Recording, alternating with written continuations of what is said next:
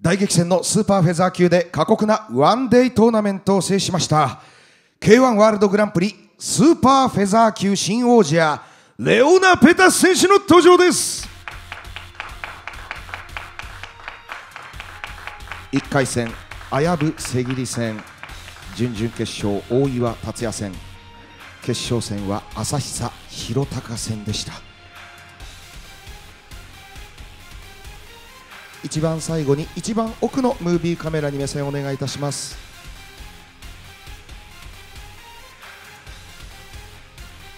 ありがとうございます。ご着席ください。一日が本当に長かったというふうに昨日はレオナ選手は振り返ってもいました。さ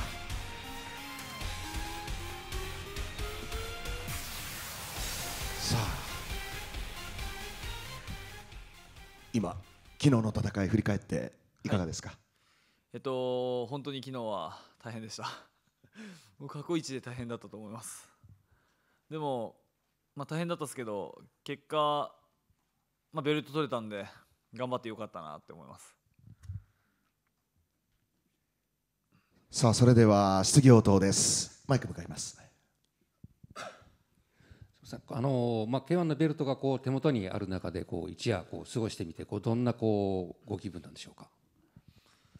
えっとまず3試合やったんで体がめちゃめちゃ痛くて痛いなって思うたびにこうベルトを見たら、まあ、頑張ってよかったなっていう。はい。本当これベルトなかったらもう痛いだけで終わっちゃうんで最悪な気分だなってなってたんですけどまあベルトがあるんで頑張ってよかったって思います。あとこうツイッターでこう名前がこうトレンド入りするぐらいこう話題にこうなりましたけれども ご自身でこう反響とかっていうのはこういかがでしょうか？そうですね。まあ結構やっぱおめでとう連絡来ますね。でもなんかちょっとまだ気持ちの整理が全然ついてないんで、まあ、全部 まだ返してないですけど。そうですね、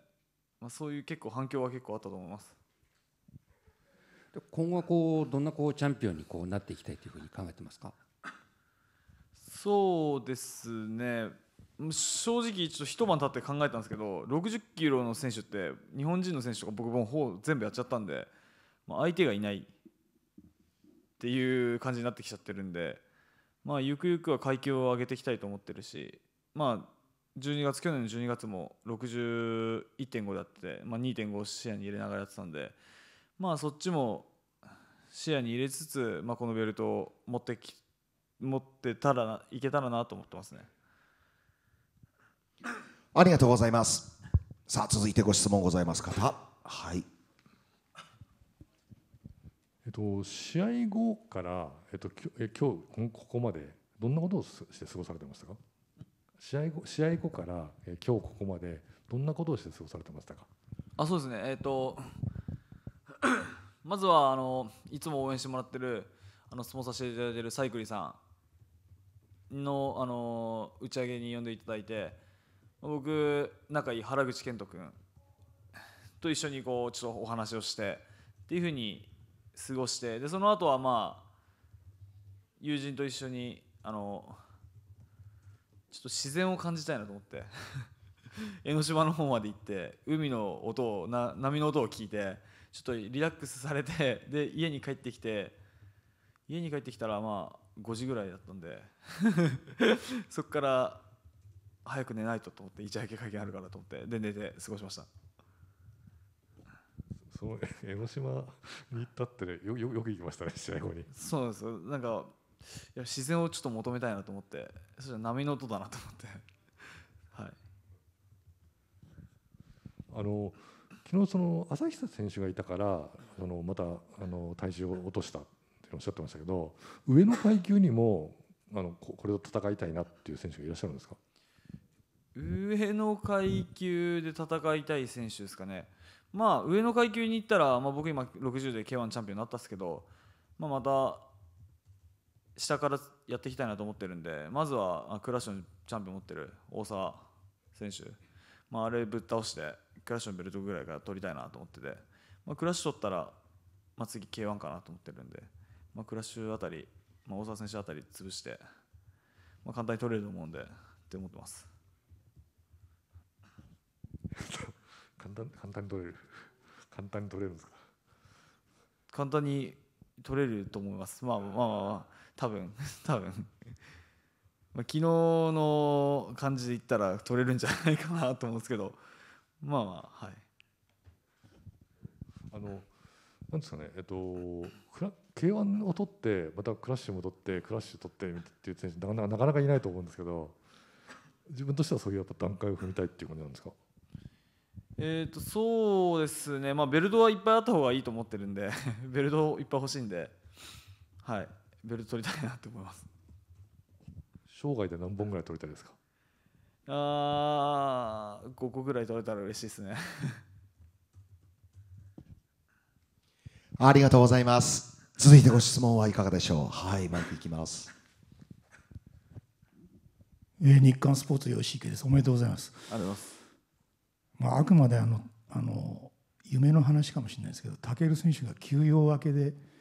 またやりたいよなんていうことになったらどうですかね？うーんそうですねまあ僕としては、うん、まあ一試合一試合、まあ、40戦重ねたんですけど1試合全てがもう1回きりだと思ってるんで、まあ、僕の中で武尊選手と一戦はもう全部終わってるんでまあ、うん、やれって言われたら、まあ、やりますけど、まあ、僕はもう負けてしまったと思ってる試合なんで、うんまあ、なかなかまあそんなに乗り気ではないなっていう感じではありますね。じゃあまず乗り気なのはさっき出た大沢選手の方に向いてるんですか？いやまあ別にやりたいかと言われたら別にやりたくないですけどただベルト持ってるから。まあベルト欲しいなって言ったためにやりたいなっていうだけですね。でもやっぱまあこのベルト持ってるんでこのベルトの価値を上げていくっていうのが多分僕の使命だと思うんではいって思ってます。まあそうなると防衛を何回かやらないとっていうところなんですけど、まあそう外外国選手ですかね相手は。うーんまあどうですかね。まあうーん。まあそのクラッシュのチャンピオンの中島選手とかその昨日トーナメントでした横山選手とかはまあ僕やったことはないんですけど、まあ、その選手がまあ僕とやるにふさわしいところまで上がってきたら、まあ、日本人選手にもなると思うし、まあ、他の外国人選手になるかもしれないし、まあ、そこら辺はまあ分からないですけど、まあ、対戦相手が誰でも、まあ、僕はこのベルトを守っていけばいいかなと思います。ありがとうございました。さあ続いてご質問ございます方どうでしょう？いかがでしょうか？よろしいでしょうか？はい。ありがとうございました。レオナ・ペタス選手新チャンピオンどうもありがとうございます。おめでとうございました。ベルトコレクターなんていう言葉もありましたがね。いや今はゆっくり休んでいただきたいと思います。ニューチャンピオンでした。